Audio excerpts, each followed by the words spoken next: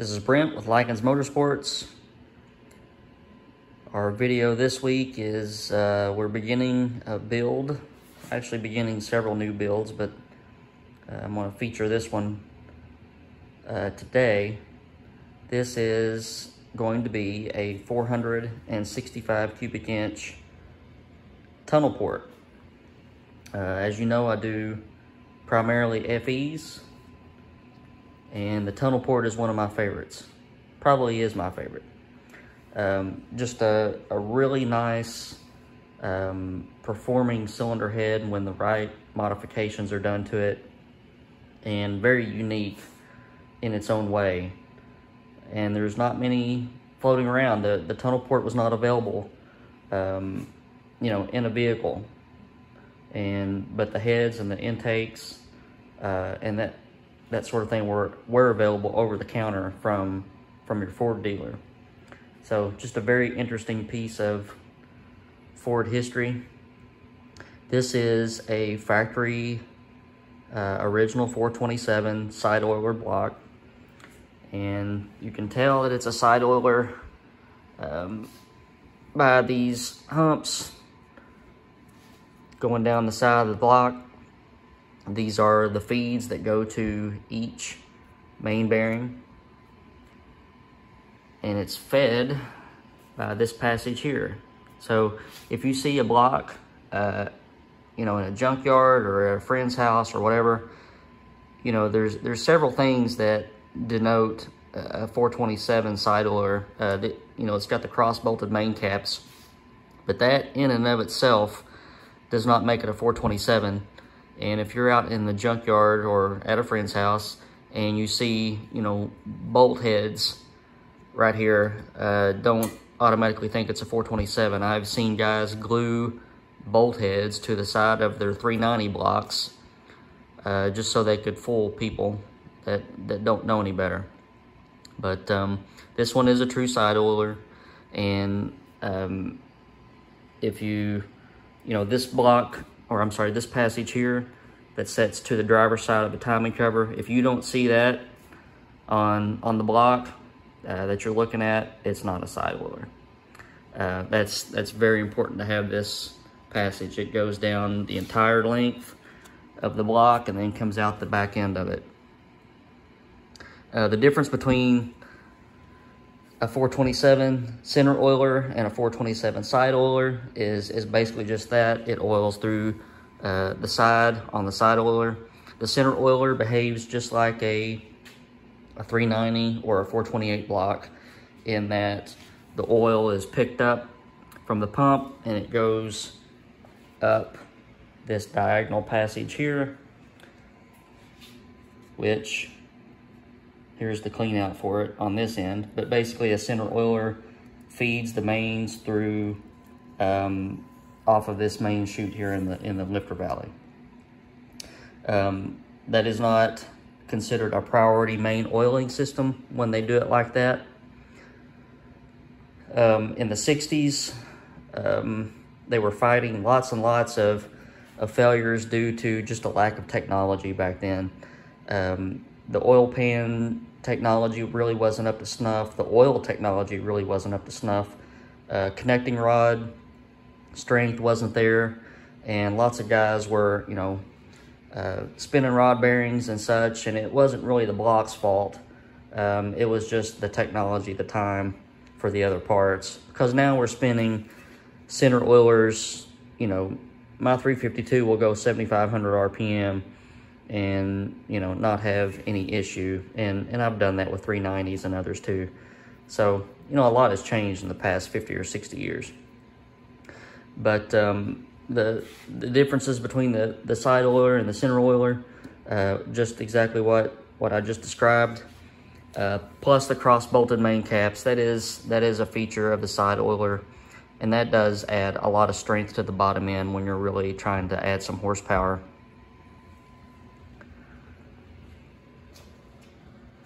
So all the machine work has been done to this one. It's a 4.25 bore. Um, standard bore on a 427 is 4.233. So we took this one out 17 thousandths. It just needed a little bit to be cleaned up. Uh, this block uh, needed a lot of, somebody had decked it quite a bit before and we had to take another five thousandths off of it to get it straight. And the deck's parallel to the crankshaft center line, which is very important. And um, it's currently sitting at a 10.135 deck height, which uh, if you're familiar with FEs, that's quite a bit under factory deck height for an FE. So we'll have to do some other tricks later on down the road to make sure that we don't um, cause ourselves problems with push rod clearance inside the tunnel port intake. If you, if you, uh, obviously I'll, you know, outline all of this as we go forward in the build, but if you have time to Google a tunnel port intake, the push rod tubes go right down through the center of the port on, on a tunnel port. So they have little uh, brass, I think brass or aluminum um, tubes that are uh, affixed to the inside of the port. And um, if you don't have clearance there for your push rod, then things can get hairy real quick. So um, generally when I do tunnel ports, I don't try to take off, you know, much material from the deck surface or the cylinder head surface just so that I don't cause myself problems later on down the road. So um, in future videos, we'll probably be talking a bit more about that. So um, yeah, finished machine work has been done. This one's been a line honed as well with ARP main studs. Um, I just got through um, tapping down inside of uh, this offshoot. This is what feeds your, your lifters. Oil comes down through this main gallery and you can see how it kind of angles down this way and angles down this way. So this is what feeds your lifter bores. This is going to be a solid roller camshaft. Uh, we're going to use some really good lifters. Um, I don't really use, well, I don't use cheap parts in my build. So we're going to use some uh, Morel or Crower solid roller lifters in this one. And this is a quarter inch pipe thread hole. It's a big hole. You, usually when you tap for a quarter inch pipe thread, you drill a 7 16 hole. So you can see how big this hole is. I can almost get my finger in it. You don't need that much oil for, um, for a solid roller lifter or a solid flat tappet lifter. So what I've done is I've tapped down inside this hole. Let me get my pin light uh, so I can show you what's going on. So down inside, oh, this may be horrible.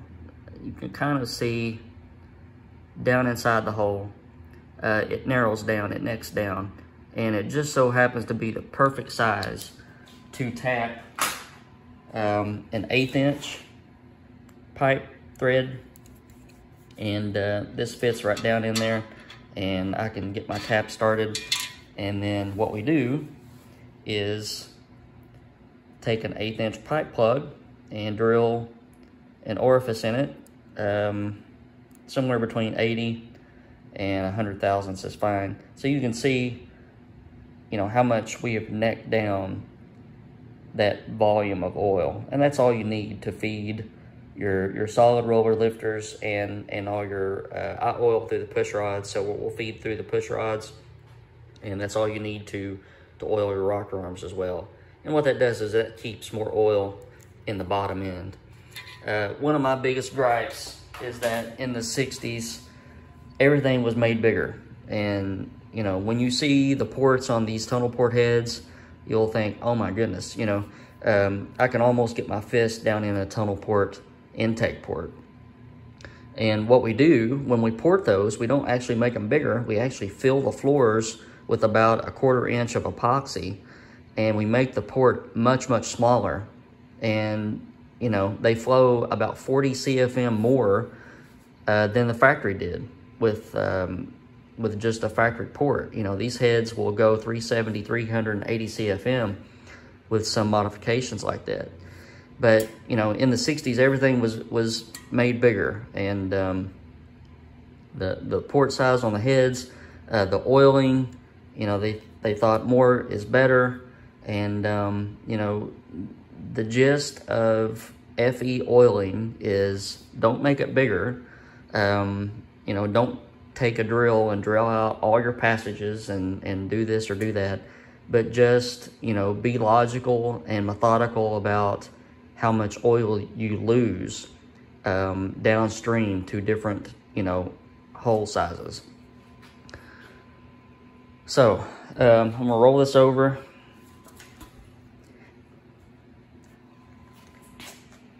This, I mean, this is a really nice block and it's been um, abraded, baked and tumbled. All the machine work's been done.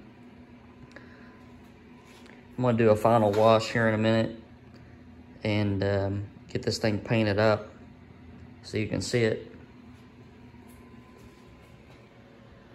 Cam bearings are already in it. So the difference between the cam bearings on a center oiler, uh, either a center oiler 427 or a 390, 428, 352, on on a center oiler, all the cam bearings look like this. They just have one hole. And you line up the hole. Um, different guys have different methods of doing this, but basically you clock the hole wherever you want it to, um, to feed. Um, in a center oiler, there is an annular groove behind the cam bearing, and that feeds your main bearings and your cam both. On a side oiler, you use a different bearing altogether. Um, it's an F33 for a 390 or a 428 or a 427 center oiler. It's an F24 Durabond part number for a 427. And several of the bearings have two holes in them. Some of them have three holes. Um, and the reason for that is on your second and your fourth cam bearing, um, there there is an offshoot that puts the oil up to the heads. So you just have to watch out and make sure you get those clocked the way that they are. On some um, rocker arm systems, like when I use a T&D race rocker, I will um, clock these so that this passage is blocked altogether because you just don't need it. On this one, I've got them lined up, but I'll still probably block it at the head and oil through the push rods anyway.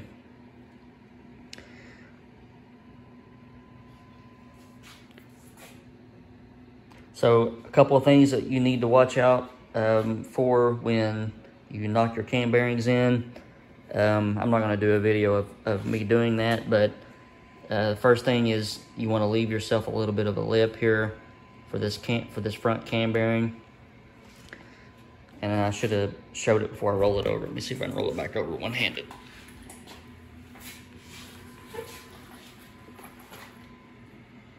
It's a lot tougher than what I thought it would be. And then the other thing is you want this feed facing out. This feeds your cam thrust plate. And you want to make sure that that hole is lined up with the hole in the block because that is what feeds your distributor gear shaft. It comes out right here in this, down in the middle of that orifice there, that hole.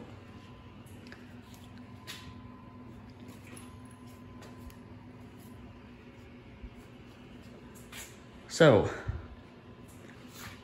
going to get this thing washed again and painted and um, I'll post a video of it all all prettied up and it's going to clean up really well. Oh, one one thing.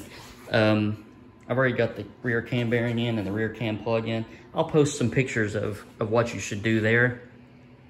Um, and actually, when, when I edit, I'll put it right here. Um, you drive the rear cam bearing in um, just far enough so that you don't uh, pass the shoulder. There's a shoulder that's cast into the block for the rear cam plug to set up against. So if you drive your cam bearing in too far, um, then your cam bearing is going to be the shoulder, and you don't want to do that. So yeah, here's the picture again, and uh, you don't want to go past this point. You also don't want to uh, you also want to make sure that you line up these holes uh, and you can use a mirror, a dental mirror when, when you do that if you need to see it. And uh, as always, the cam plug on an FE goes in uh, backwards to the way that you would normally think. A cut plug should go in. If you don't put them in the correct way, you will make a lathe out of your cam and you will turn uh, that cam plug down in a heartbeat and feed your um, feed your bearings full of metal shavings, which is not a fun thing to do. All right, so on this build, we're going to use uh, some Racetec forged pistons.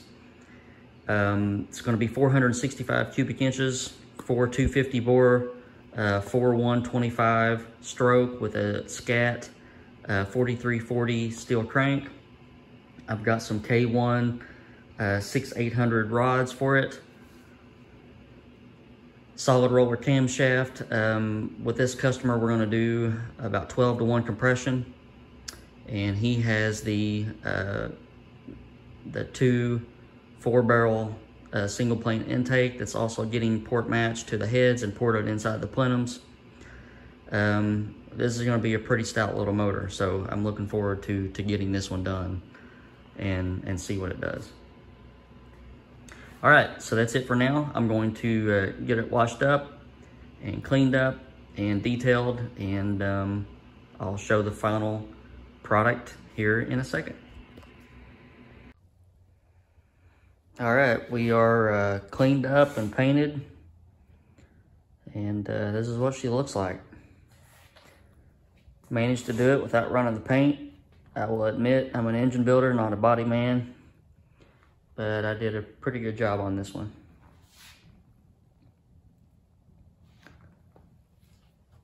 Got our uh, ARP main studs already fitted. And if you notice, there are no studs in the back. That's because we use bolts in the rear cap and ARP has a really nice uh, bolt kit for, for FEs that includes studs in the front four mains and bolts in the rear main. And that's because if you use a stud here, the nut and everything sticks up way above the cap and then you have a hard time getting your oil pan to fit without modifying the stud. So um, I just use this kit with the bolts in the back and line hone it with the bolts in the back and the pan fits really easily and, and everything's good and everybody's happy.